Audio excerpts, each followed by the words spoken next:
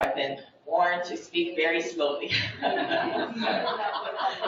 I uh, try to respect that. Um, so, uh, so first, uh, uh forgive me for uh, just uh, presenting a few basic slides on, on what what we do in, in program evaluation. I first just want to say what do we mean by by impact of program evaluation.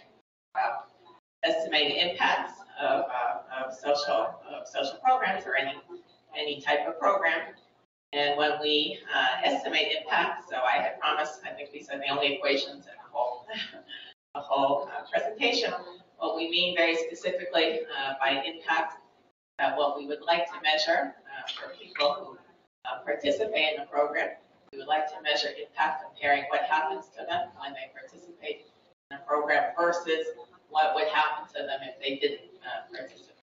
So that's that's the kind of the mental exercise that we have in uh, program evaluation. So in the, you know, the equation, what we want to estimate is for those people who do participate, we want to estimate uh, what their result would be uh, under a world of treatment versus their result without without a treatment.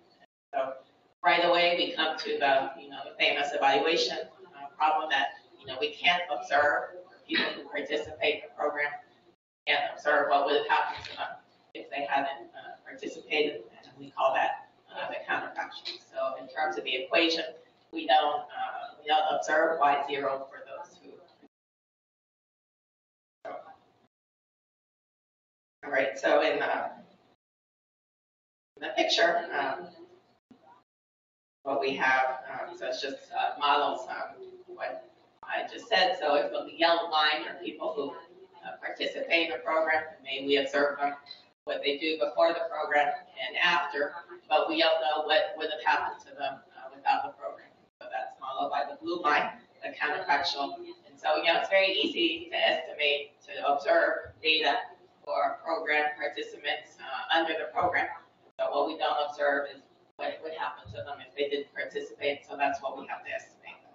Counterfactual, that's really kind of the key in program evaluation. So, so how do we do that? Um, so we do that by selecting a group which is not affected by the program, and we use them uh, to measure, to estimate the counter counterfactual. So experimental evaluations, what they do is they use random assignment, uh, usually eligible beneficiaries, and they're randomly assigned uh, to to treatment and control uh, versus uh, non-experimental evaluations which um, will argue that a particular group under certain conditions uh, can replicate the, the.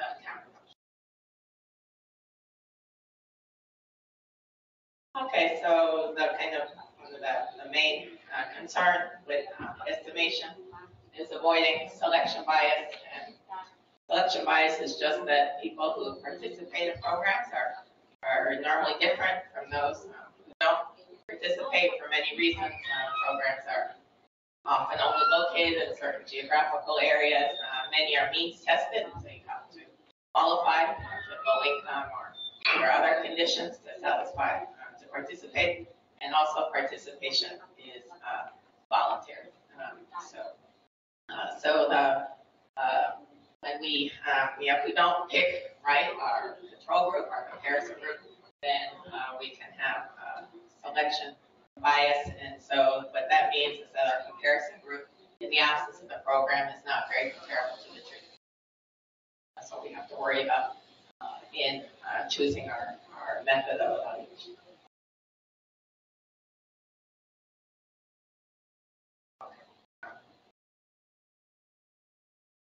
Okay, so let me uh, now start moving towards uh, talking about um, experimental designs and and data. And so experimental designs, uh, so where you randomly assign um, people to, to different groups to, to treatment uh, and control. They have a long history in medical studies. Um, they've also been used uh, in developed countries, the US and Europe, to evaluate impacts of government programs like job training, and they've been used for decades. Um, there. And, you know, kind of experimental designs are um, really um, Now, now kind of, you know, it seems like they're having, uh, that's sort of on everyone's uh, minds and development and uh, what's happened during the last uh, 20 years or so is a, a very large growth in uh, using experimental designs or to pilot, to pilot interventions um, in, in the area of development in developing countries. Settings are new, no, not so much the, the methods. And so, so now there's all these um, pilot interventions using uh, experimental design to try and figure out what uh, what works with the idea to potentially scale up to larger programs that help uh, promote development in developing or poor countries. Um, so we have here the great uh, example in Mexico, Prospera, uh, which was previously called Oportunidades, which was previously called uh, Progresa, is an early example in this in this literature. And then we also have the, you know, the Poverty Action Lab, who's been promoting all these sort of small, small scale uh, interventions. One, a very famous one uh, you might have heard about was in the news. It's an older study, but it's uh, been in the news a lot recently. But Kremer, uh, Miguel, sorry, uh, Ted Miguel, Michael Kremer, uh, their piece on uh, impacts of deworming in uh, Kenya. And, know, the typical one there, you know, the Progresa, the Prospera evaluation is a much larger evaluation in the sense, uh, call it a pilot, uh, but it's an early example of a program that was evaluated in experimental design and scaled up.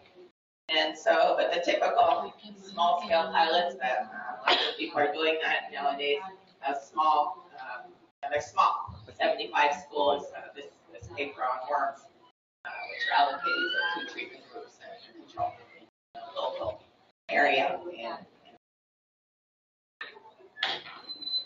okay, so why do, I mean, to state the obvious, why do people like experimental design so much? And um, the, oops, sorry, the reason is, uh, you know, when they're done well, and I, you know, I'm going to skip a lot of the operational uh, details. So if they're not done well, they have just as many problems as uh, non, non-experimental designs. When they're done well with a you know, reasonable uh, sample size, uh, the idea is they uh, they provide a very good uh, estimate of the counterfactual. So a randomly assigned control group uh, uh, gives a good estimate of the counterfactual, and so allows us to provide uh, unbiased. Okay, so here's just a so uh, just a picture to distract from all the words, but uh, just uh, what a random assignment um, would would look like. Um, uh, so I want to say about uh, picture. So, so what happens when you uh, you know what's alternative to carry on experiments, and there's um, lots of non-experimental uh, methods for constructing the counterfactual um, that I, I'm just going to list here, and I'm not going to say say too much um, about them. Uh, these experimental methods which uh, try to construct a control group um, uh, that would uh, a good estimate of counterfactual. I'm going to put particular emphasis in uh, you know the rest of the talk on the last, the before and after difference in difference methods. This is actually uh, useful for all types of estimators. So there's you know difference in difference matching estimators, regression, instrumental variables, and also uh, they're used for experiments. So by difference in difference, I mean before and after for treatment. And, and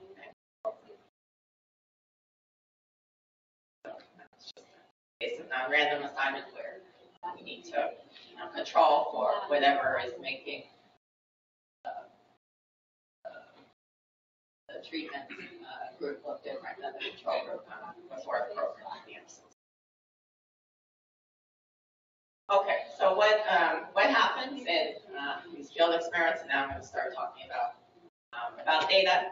So you know, for evaluations, uh, these small scale uh, type pilots, uh, how does how does it work? How does the data collection work?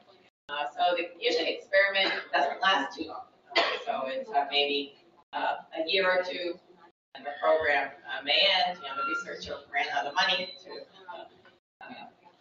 keep the program going.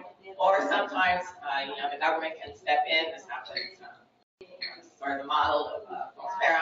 The control group becomes a treatment group. So you also lose your experimental design, not because the program ended, but because the control group also became So lots of these small uh, experiments are focused in a local geographic area. So it's saying, you know, small sample of schools, and they're not usually uh, nationally representative, but maybe in uh, one or one or two states.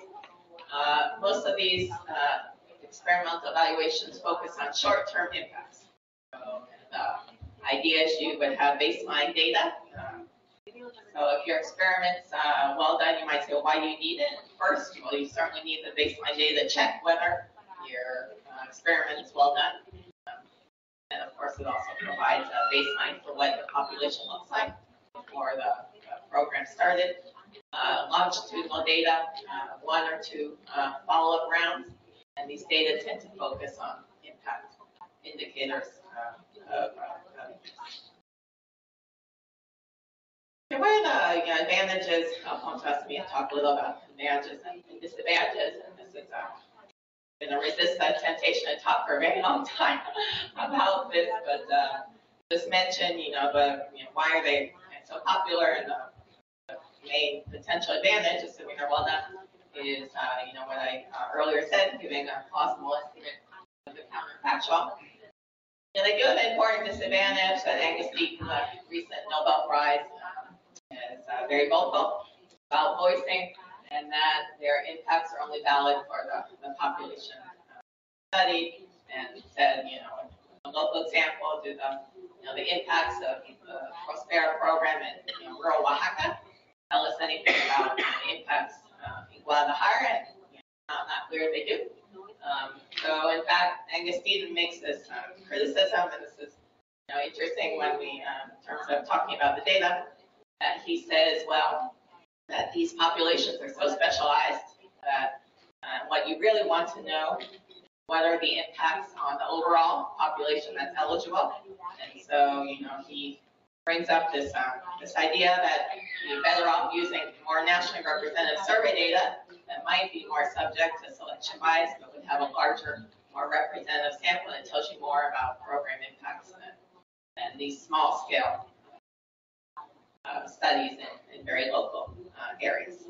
Okay, now that's now that's a very you know that's a powerful, important idea. You know whether you can kind of trade off bit of selection bias, but on a more representative uh, sample.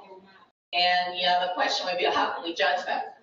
Uh, how can how can we measure that? And that's uh, that's a pretty um, that's a pretty tough question. But um, here's uh, maybe uh, a way of of looking at it. And uh, so, can so here's a question: um, Can non-experimental evaluation replicate the results from experimental evaluations? Can they, and what you know, what data and methods um, exist for this? And so, you know, if we just assume for a moment that experimental methods will give us the, you know, the best approximation to the true impacts, under what conditions, um, with what data methods can non-experimental evaluations replicate experimental evaluations. Um, so you might say, well, how, you know, since you can never observe the counterfactual, how could you possibly really have much, much of an idea? And the way that, you know, the studies, the way that this has been looked at and that you can look at it is in settings where you have an experimental design you can see if you can try and replicate those impacts, assuming experimental impacts are correct. Uh, try and replicate the non-experimental, so replicate the experimental impacts using non, non-experimental methods like uh, matching. So Petra is a um, great expert in in uh, this area. She has a very uh, a very famous paper uh, on exactly this topic and matching estimators over overall.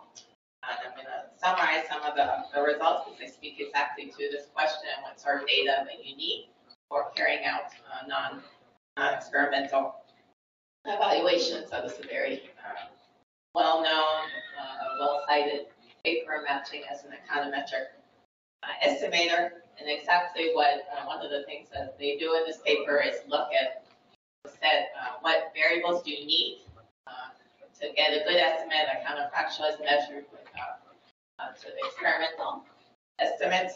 And what they find is, uh, you know, that so there's different ma- matching uh, methods that you can use, but uh, one of the you know important points of uh, their paper, especially for this uh, this audience, is that the available data really affects you know how well you can do replicating experimental uh, design.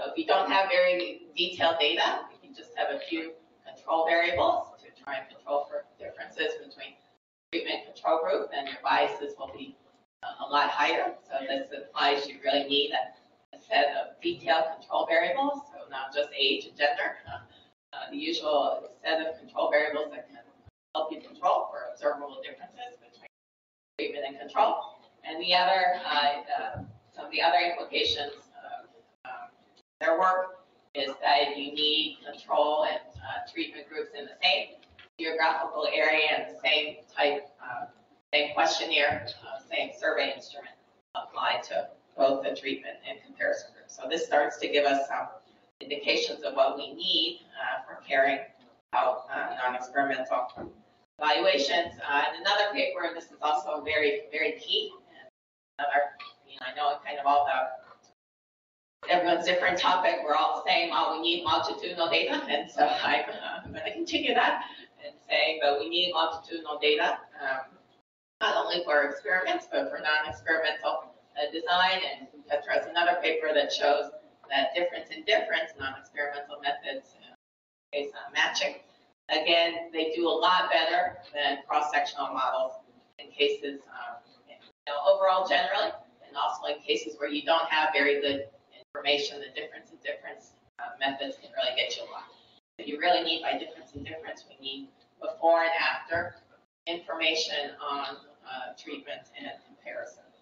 So, first conclusion, baseline data and hence longitudinal data following up of the program population is uh, really critical.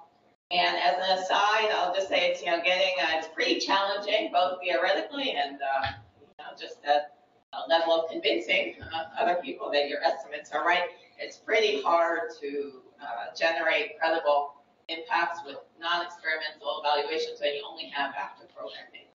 Really this longitudinal dimension to be able to measure uh, program impact. You need it for experimental evaluation as well because you need to be able to justify or show that your experiment is, is um, Okay, so uh, conclusion, we need uh, longitudinal uh, data.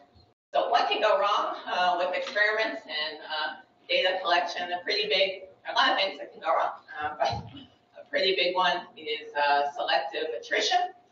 And so, you know, attrition is always a problem in longitudinal data. We've been hearing a lot about that in the, in the seminar. Uh, but yeah, it's maybe worse with uh, program evaluation because you don't just have the problem of overall attrition, but you have the problem of selective. So often uh, programs affect probability that uh, you stay in the sample, that you can be uh, found uh, later on and interviewed. So it's very common. It's really a big disaster in um, in experiments and it really applies when you have selective attrition that the program predicts uh, who is interviewed, and you're really back uh, back in the non-experimental world of impact evaluation. And let me just say, you know, even attrition, which is not selective, is a big problem in uh, program evaluation uh, because uh, impacts will only reflect. Uh, so when you when you have a program, you want to estimate the impacts on the entire beneficiary population. But if you only manage to interview half of them, uh, then your impact will only reflect uh, those that you interviewed. And you know, usually it's not random uh, who leaves a sample, and it can be, you know, your impacts can end up being on those that are least affected by the program or at least the least interesting uh, population. I'll give a an example uh, from the evaluation of uh, youth beneficiaries in the, the conditional cash transfer Prospera in rural areas. So this is, you know, this is a very, a very uh, famous, well-known evaluation, as I was mentioning earlier. So there was a randomly assigned treatment and, and control group at the beginning of the you know, Prospera program back in 1997. Uh, and so, you know, this is a very famous evaluation. And Dr. Petra and I just wrote a, an article that's coming out in the Journal of Economic Literature summarizing all the short-term studies. You know, there are over 100 looking at different effects of the program on education, health, you know, expenditures, women's status. Amen. There's a million studies published in excellent you know, economics and health journals. So, but one of the you know the key questions of uh, the Prospera program is not just the short-term impacts, uh, which are important, but what happens in the long term. So, because this program has you know, objective of trying to break the intergenerational cycle of poverty. And so the idea is, you know, kids get more education when they're young because of the, you know, the cash transfer, they have to go to school for their parents to get the money. So later on, do they get better jobs uh, because of having more education? Now that's a very interesting question. Uh, one of the you know, initial motivations of a, a program like this that paid kids basically to, to go to school. And so, you know, the experimental evaluation uh, that was very successful in the first uh, few years, uh, later on had very high sample attrition. So it's very hard to use uh, evaluation uh, to uh, provide, to answer this question, what happens to the youth who got more education because of the program? Why is it difficult? Because when, you know, when the program went back to interview them, they didn't do a very good job following up. It's a very mobile population. Kids uh, who are now, you know, in their early 20s, they don't live with their parents anymore. And so, you know, this data that was captured after 10 years focused um, only really had youth who were still living in rural areas with their parents in their house. That's a very selective population. That's not a population that you think would have the most impacts of the program. Right? Probably the population that benefits the most are those who migrate uh, to urban areas. Anyway, that's uh, just anecdote, but uh, and, you know, brings up again you know, the importance of all longitudinal data following up. So, and, but you know, with the perspective of program impacts, if you don't follow them up, then you have a very biased, you have a partial view of program impacts because you only know the impacts for those who uh, you can influence. Okay, let me um, talk about uh, I'm going to focus on longer term program impacts and talk about uh, uh, data requirements, although these are also apply this to short term uh, program impacts. You know, this idea of what uh, what are the longer term impacts of, of programs, you know, I would argue that's know, equal importance in the short term or initial impact evaluation. You need both. You need to know whether the program is working uh, initially or and whether uh, these impacts that you might observe in the short term uh, hold up over time. So there are two, uh, at least two questions associated with longer term evaluation. So do initial program impacts hold up over time? So for instance, in the case again of uh, Prospera, there was an increase in the growth of very small children relative to control children before age two. So that happened after a year after the program. But so do we know that that's a permanent effect, so that treatment kids are going to be taller always um, as a result of having participated in uh, Prospera, or will the control kids catch up? Because then they start receiving uh, benefits as well. That's an example of why we need to look at longer term impacts. And also maybe you're, you know, in the short term, your interest was, okay, did more kids go to school? Uh, but in the long term, what you might be interested in is uh, what whether that leads to higher uh, higher wages. And so you need a long-term impact uh, for that uh, to look at uh, impacts on other variables. You know, even at an international level, it's surprising how few studies of long-term. Uh, those are the, the progressive kids protesting. Not true that they're not going to higher wages. okay. So, uh, so there are really very few studies. It's amazing. Um, lots and lots of pilots of short-term impacts, but we have uh, very few studies of long-term impacts, almost uh, none in, in Mexico, the ones that are related uh, precisely to Prospera. You know, it is a growing uh, literature, and so now what I'd uh, like to talk about is what data need to uh, carry out uh, long-term evaluations. And here I'm going to give uh, for each type of uh, data, I'm going to give an example, uh, one or two empirical uh, studies. Okay, so what are the alternatives for doing longer term impact evaluations? And so for experimental evaluations, well, you know, you can uh, do a follow-up of original evaluation samples. Uh, you're, you, have the issues, as I was mentioning Trish, you can have the issues for, for older populations of, uh, of mortality.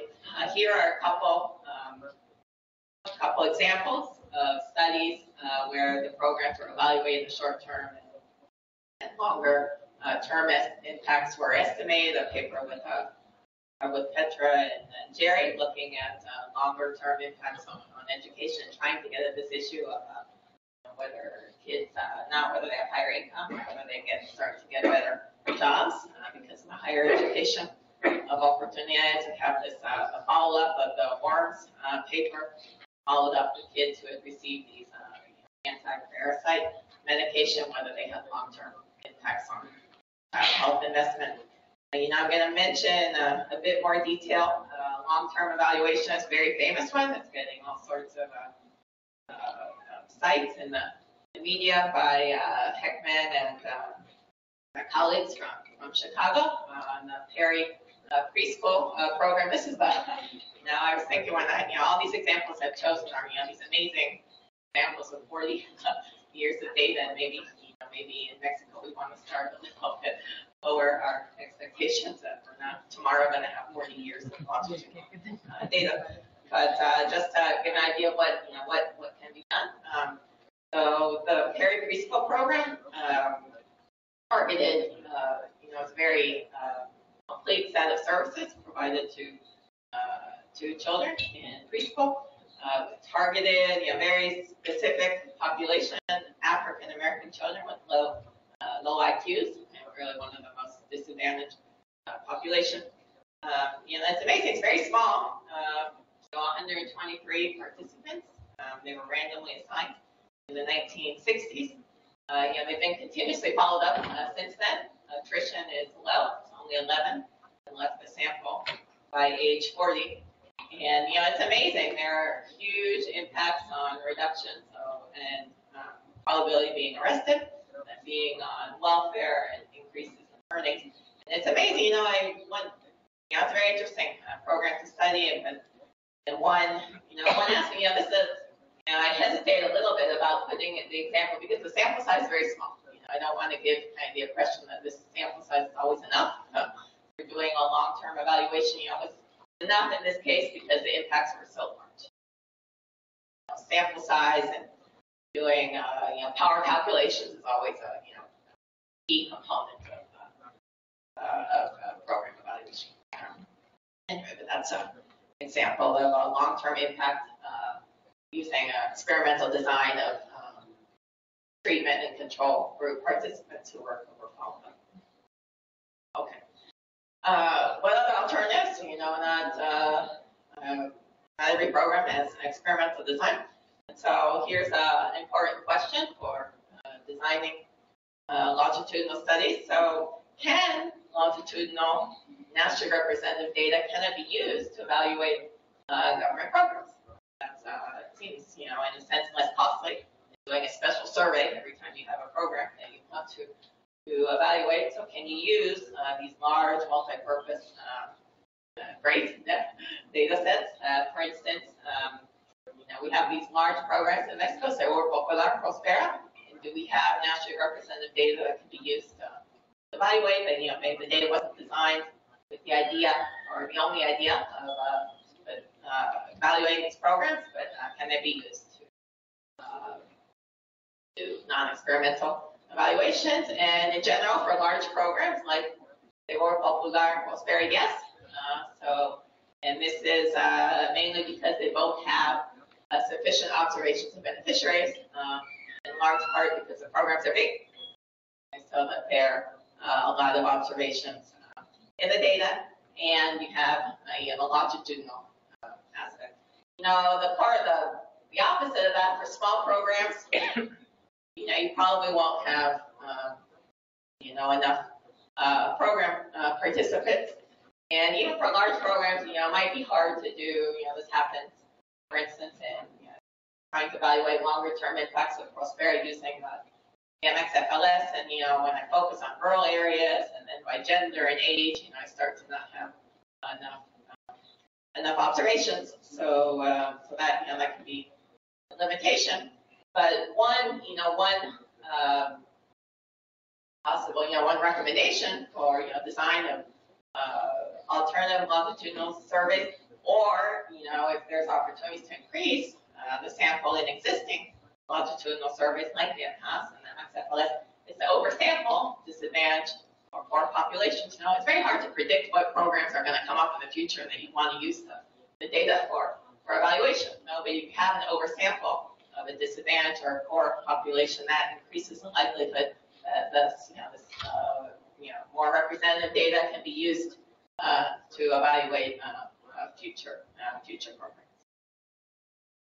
Okay, so you I'll just mention uh, uh, the evaluation, this you know non-experimental evaluation that we did with Rebecca Wong and Joe Saenz, evaluation of the Seguro Popular program in Mexico. You know, just the Seguro Popular, what what is it? You know, it's a health insurance program targeted toward workers in uh, uh, informal sector. So Mexico uh, traditionally has had very low coverage of Social Security just because it's restricted only to workers in the formal sector, which is consistently uh, been less than 50%.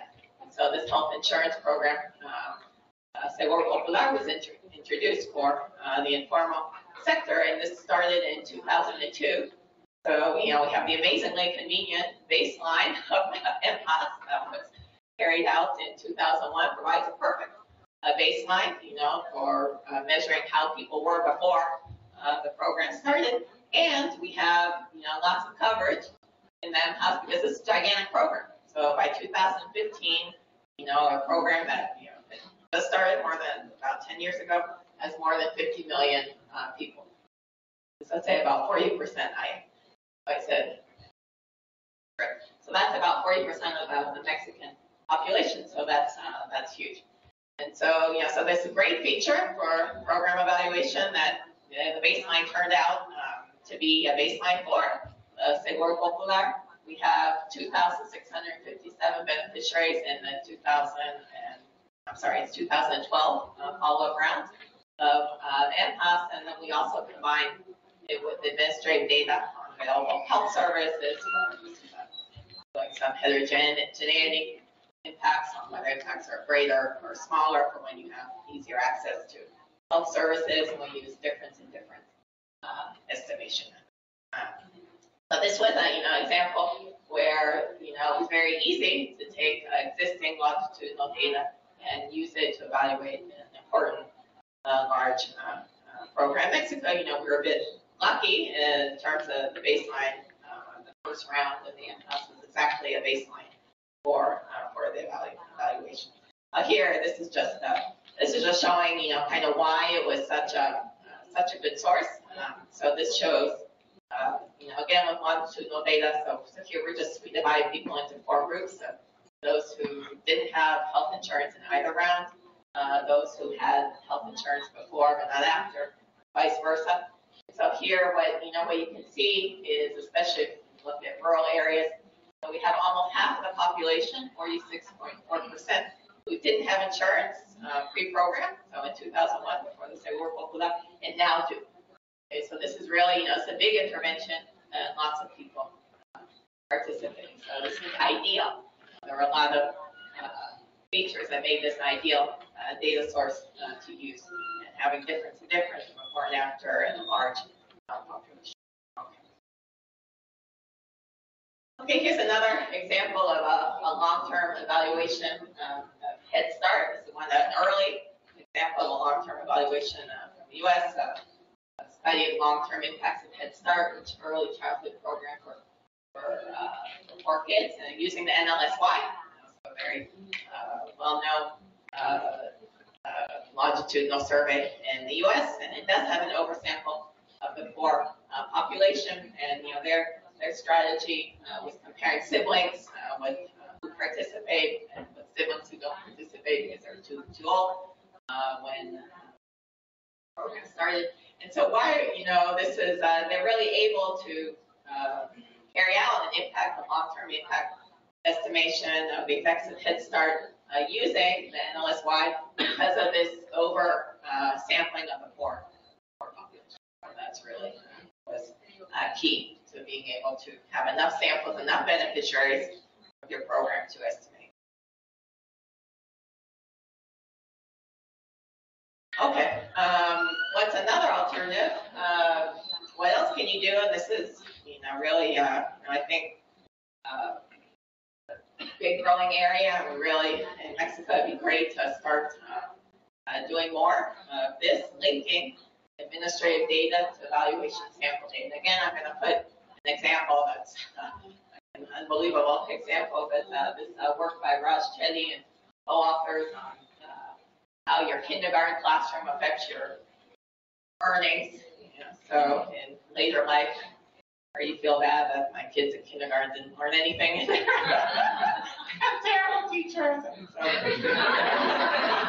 their life is over, their life. or at least they, they didn't get this advantage that they could have gotten to get higher earnings because of having a good kindergarten teacher. Okay, so what did they do in this study? So this was a, a program called STAR, what it did was it randomly assigned kindergarten kindergarten kids to small or larger uh, classrooms. And so, you know, it was amazing. So the kids who were assigned uh, to higher quality classrooms, so with smaller classroom size and better teachers, they find all these impacts later on. They're more likely to attend college and save for retirement and live in better neighborhoods and all these effects of having a you a good teacher in small class in kindergarten, you might say, God, you know, how could you do a study like this? It'd be incredibly expensive because you have to locate, follow up all these kindergartners, you know, that you don't, you know, in the beginning, all you had was school records, you know, what school they were in. And, uh, and so the way that uh, they did the study was they linked the kindergarten school records to tax records. So it's not that they followed up the kids, you know, 30 years later to see where they were. They just use administrative records, basic tax records. Do they link using a social security number, date of birth, gender, and the name? So you have this amazing, you know, data where you have kinder, kindergarten school records and teacher that the child had in kindergarten linked to their earnings uh, uh, later. So, uh, so this is uh, uh, this is pretty uh, amazing. So, but we do, you know, I think there is starting to be more more of these like using administrative data. So here's an example of using administrative data for evaluation of Seguro Popular in Mexico. And so, you know, like I said, the Seguro Popular is only for workers in the informal sector. And so uh, this has created a, a small literature on asking whether this is actually create incentives for workers to choose informal sector jobs over uh, formal sector jobs. So, uh, so there's a study of this. Um, um, uh, Raimundo was here, uh, was here yesterday, and so he's one of the authors on, on this paper. I'm sorry that it's just awful yellow, I just, you know, I couldn't get that yellow font to go away. I don't know why, but uh, anyway. But so this is a paper that looks at, you know, does um, the Seguro Popular uh, make workers more likely to work in the informal sector as opposed to the formal sector? And how do they uh, study this question? And this is another great example of using uh, nationally, you know, this is so you know, this is an evaluation that focuses on one state. You know, this is a national evaluation. They'll be using uh, Social Security data. So the IMSS has a lot of administrative data on the Social Security population, their wages, longitudinal uh, data on wages, conditions, firms, uh, tenure. And so, you know, they merge that data with administrative data on the number of single our beneficiaries uh, to study, uh, study this. This is a great uh, example of uh, using uh, administrative data to carry out program uh, Okay, so I'm going to uh, conclude just with some, uh, tentative conclusions and possible suggestions for, for data summary. So, you know, no way around it. Longitudinal data before and after is a must for getting uh, credible program impacts, both for experimental and non-experimental uh, methods. Uh, with respect to household level surveys, you know, I want to push a little this, this uh, idea of, you know, oversampling uh, for populations, either within uh, existing longitudinal surveys or, you know, for the future uh, forthcoming uh, longitudinal surveys. That's going to help increase the probability of having sufficient beneficiaries of disadvantaged populations of existing programs and you know, new programs that uh, come up. Or, you know, why not wish list? uh, why not a longitudinal panel in Mexico focusing only on, on the poor uh, population? Uh, you know, I think that really, uh, you know, I mean, there's, you know, I know all the, you know, lived here a long time, I know all the defects, you know, the CURP, nobody can remember, so the CURP is a kind of approximate uh, to a social security number in Mexico, everybody's supposed to have a CURP. Nobody remembers their CURP. It's, it's, it's a real, it's a real problem, but here, you know, we're starting to have a, a national uh, number. So I mean, I think there's really, you know, we can start taking further steps of linking administrative data, tax returns, or other administrative data. You know, IMSS has years and years of health uh, clinics, results, and health outcomes that could be potentially linked uh, to individuals. So I think, you know, real need to really start, uh, you know, expanding in this area, of linking administrative data to, to household data. I'll just mention the CURP can be looked up on the internet. You know, I don't know if this is a violation of privacy, but anybody can look up somebody's, uh, somebody's CURP just with their name, where they were born, and their, and their place of birth. And finally, issue of sample size, uh, you know, I haven't focused on that really in this talk, but that, you know, you got to do your power calculations and it's worth investing in longitudinal data with um, extra observations. Uh, you know, you need a usually fairly large sample size unless you're pretty sure your program will have large, uh, large impact. So I'll stop there. Thank you. Thank you.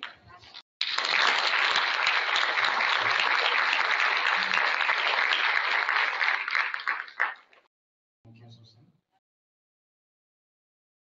Yeah, thank you. Uh, okay, so uh, I will open uh, for questions. Anyone? Yeah. Thank you, Susan. Great presentation. Um, I wanted to bring up one of from one of your conclusions. Yesterday, I mentioned that in the move towards trying to um, create a longitudinal studies culture in Mexico. We would like to have in place some kind of ID that we can follow. And also an ID that we can link the administrative records with. So that uh, would help us follow people, but also in the linkage. And then also, I think we have to think of a culture in which the administrative records are shared, available, open to the researchers because it's not the case right now. So you mentioned IMSS has years and years of Social Security records, but very few people have access to those, right? And so it's the same case for, um, you know, CONSAR, the retirement records, that, that they have to come up with some culture which they say these records have to be used with all the protective measures for confidentiality and so on. But there's got to be something in place. Again, start the movement towards in that direction. It was just a comment. But yeah, I'd like to hear your comments on that. Yeah, I mean, I guess. No. Yeah, I mean, you know, one area that I don't know whether kind of academic communities think Hello? So, yeah, one mechanism, which I don't know how much the academic community has used, and I, you know, I haven't used it uh, myself, embarrassingly, but uh, you know there are these new transparency laws in Mexico where you're supposed to be able to get access to to confidential data. So yeah, I, I don't know uh, almost any any data really, so I don't know if that's a, an area that, that exploited exploited more. So yeah, but I agree that it's a real a real problem. Um, know, often, you know, you get the data because you maybe you knew somebody and it's, you know, not publicly available. And, you know, I remember, you know, Kenny was here giving, you know, presenting his book uh, about a year ago, you know, and he was trying to get access, you know, he wanted to, you know, kind of do the same uh, replication for Mexico that he'd done for European countries on, you know, estimating inequality and concentration of wealth, and, you know, he wasn't able to get access to uh, you know, tax records from the same commission. Not, not possible, that's, uh, that's a real, uh, real shame. Types of data are not more available.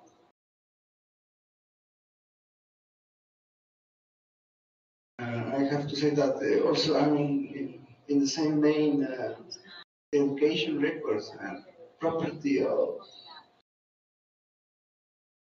general director in some place in the, you know, secretary of education. So I, I think it, we need to move forward on that. Okay, okay. another um, question? Yes.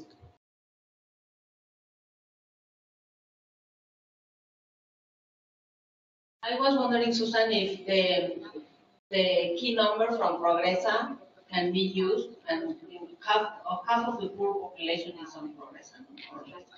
So how can, how these numbers have been used in the past or how do you think they may be used?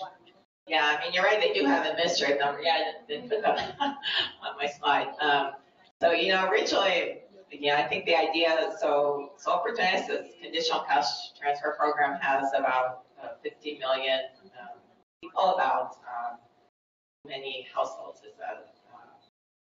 uh, Seven million. yeah, seven or eight million. Um, and so actually the idea was, uh, that that would form kind of a, a registry for the foreign population, because it seemed that you didn't need to interview that many more in order to have a pretty complete, uh, registry of the foreign population. So and that they could use also for other, other programs. So fact, you know, Prospera beneficiaries are eligible for other programs automatically. Um, so, so they definitely use the ID number for that, but, uh, you know, again, I, I don't know how much that number can relate to, to other data like tax records.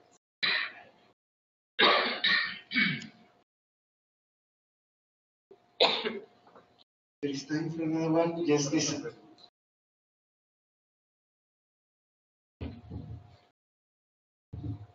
Uh, Thank you. Um, I just had a question on the, um, the, um, experiment with the information, the data you showed about the MHAS. um, um, The MHAS study with the, showing the expansion of the kind of, this, this, um, the insurance, um, over time. I wondered whether you had looked at the kind of any of the outcome data, uh, outcome variables of the survey in terms of whether this has kind of improved people's health, having the access to health insurance. Oh, music to my ears, that question. So, how much longer do I have to talk about, talk about our paper? So, um, yeah, no, I'll just briefly answer. So our paper, in fact, studies, um, health impacts because there are other studies, so the Seguro Popular, and what they show is that their impacts on reducing catastrophic expenditures and increasing utilization, and that's kind of what you expect from health insurance. And so we try to go a step further, looking at uh, other health uh, behaviors. So we look at preventative, whether you uh, you're more likely to have a test uh, for diabetes, uh, hypertension, uh, you know, prostate. We also look at treatment. So if you are have it diagnosed, now you know Mexico has a big problem with many other countries that lots of people are undiagnosed. You know, they are diabetic, but they don't know, or they are hypertensive. But for the population that that does know, so some of our results show that uh, Seguro Popular increases the probability of being in treatment. For a country with such a high level of diabetes and hypertension, that- those are encouraging.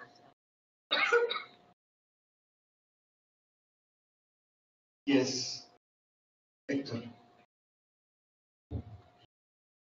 Uh, I wonder if uh, you have looked at differences uh, between regions, uh, say between the urban area and the rural area, and also the geographical regions and at the state level in coverage and, she said, in health outcomes and utilization uh, regarding Seguro the sixth study. Um, yeah, yeah, so we looked at impacts by separately for rural and urban areas. Um, so the impacts tend to be larger in rural areas. That's, uh, what you expect because that's where the increases in the covered population with insurance are, are greater. Um, Although we do find something interesting in rural areas where, um, impacts are, so they're higher in rural areas, but then when we disaggregate rural areas into, some rural areas in Mexico very, almost no health services available. So when we disaggregate into areas with kind of good health services versus uh, not very many health services measured by uh, number of doctors, uh, we find that the impacts are greater for in areas where they have better access to services. So that the impacts really work for a population that didn't have health insurance and furthermore not that far away from uh, health services. That's where it seems that there's a larger impact. And I'll just say, and this, well, this is more of a program evaluation issue, you know, one challenge for the Seguro Popular, it's not, it, it's introduced in a context where there are other alternatives to health insurance. You know, it's not, you know, you know, with or without health insurance, you know, there are other possible health insurances, there's social security. And so, um, so focusing on rural, uh, beneficiaries is, you know, kind of helpful because it's a population that has fewer opportunities for alternative health insurance. So it's, uh, it's easier to isolate the impact versus not having access. Yeah, so this is not like a question, it's more like a comment, no? So Susan mentioned the huge literature that there is about Prospera, Progresa, Oportunidades. There's also a huge literature now about the Seguro Popular, and most of it is because there is the data to do that, no? And there are tens of programs here in Mexico, no? In, in the Coneval has a list of all the programs, and, and we don't know much about most of them because we don't have the data, no? If, so if there were longitudinal, longitudinal studies, we could be doing much more research about all those programs. So that's just my. Thank you very much, Carlos. That, you know, I was. Yeah, look, yeah, we're, we're, we're like the drunk man. I'm looking for his he's just under the light because that's where he can see. You know, there's so much we can do. Yeah, yeah. So, so there's, uh, so I suppose you say in the language of economics, there is kind of endogeneity in terms of What? how much work has been done, how much data we got. Uh, other question, please. Is that it? Okay, so, Maybe just a comment I mean, you just said.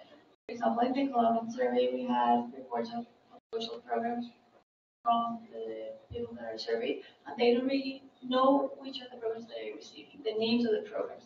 So in fact, eh, regarding the need for longitudinal surveys, I think it's very important to have IDs and to be able to connect with administrative data, and that way we'll do good eh, evaluation. So I think we, like, we need here in Mexico and in other countries, like the linkage of these two things. in order to do good evaluation. yeah, that, that's also kind of very nice comment because, I, I, and I think in the talk of Susan, she was talking about, you know, the linkage, uh, kind of agenda. I, I think that's very important. Uh, But uh, we don't really need to get access to those administrative